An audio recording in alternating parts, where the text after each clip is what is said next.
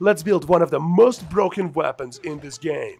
This weapon will require very little stamina to use, making it absurdly effective in difficult fights.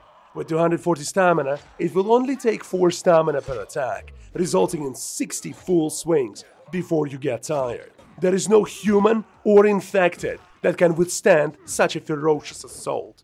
For this, we'll need to find a weapon, two-handed if you please, with a bonus to stamina regeneration on quick attack.